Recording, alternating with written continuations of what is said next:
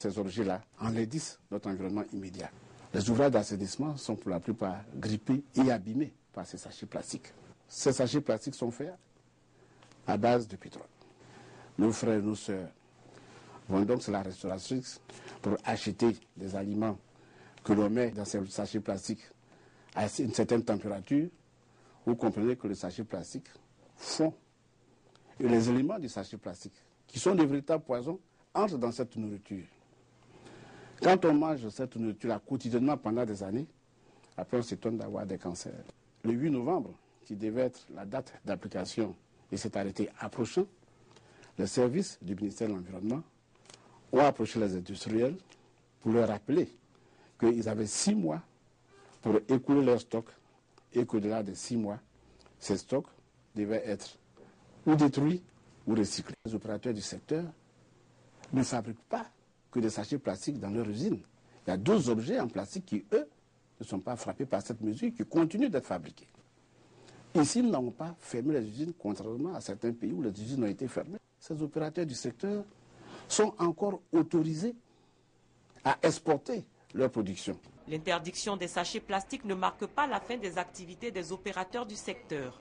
Bien au contraire, d'autres opportunités s'offrent à eux. Les sachets plastiques sont néfastes pour l'environnement, la santé et l'économie. Pour s'assurer de la mise en application effective du décret, le ministère de l'Environnement, de la Salubrité urbaine et du Développement durable fait de la sensibilisation son cheval de bataille. Cette opération est bien relayée au sein de la société civile et dans la plupart des surfaces de distribution. Nous avons lancé des informations claires et distinctes à l'ensemble de nos représentations afin que cette sensibilisation connaisse une adhésion des populations. Quand le client vient, vous lui proposez les sacs et vous dites au client que ces sacs-là sont à moins de coût. Quand il achète une fois, il peut revenir plusieurs fois jusqu'à ce que ça se gâte. En lieu et place des sachets plastiques, le gouvernement propose d'autres alternatives.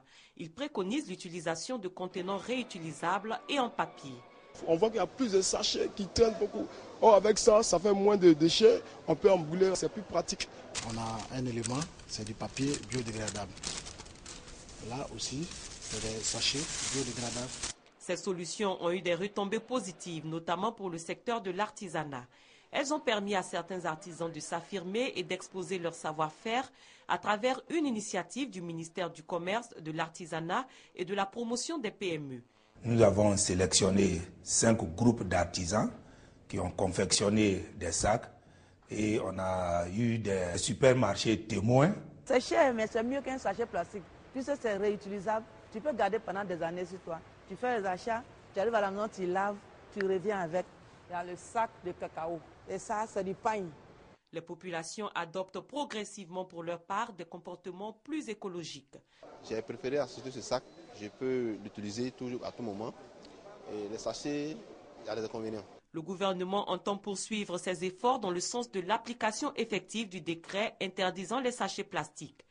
Nous continuerons à dialoguer, à expliquer, à rechercher et à proposer des mesures d'accompagnement et des alternatives à nos populations. Le décret s'applique à toutes les formes d'utilisation des sachets plastiques. Toutefois, il ne vise pas les activités militaires, les situations de guerre, les activités médicales, agricoles et de salubrité. Le ministre chargé de l'Environnement peut, à titre exceptionnel, après réception d'une demande d'autorisation préalable, permettre l'utilisation de sachets plastiques biodégradables. Les producteurs et vendeurs de sachets plastiques encore actifs en cours des sanctions, ils sont passibles d'amendes allant de 100 000 à 1 million de francs CFA et de peine d'emprisonnement de 6 mois à 5 ans. La Côte d'Ivoire produit 200 000 tonnes de sachets plastiques par an qui, abandonnés dans la nature, défigurent le paysage ivoirien et mettent à mal le bien-être des populations. Leur réduction donnerait à coup sûr un visage neuf au pays.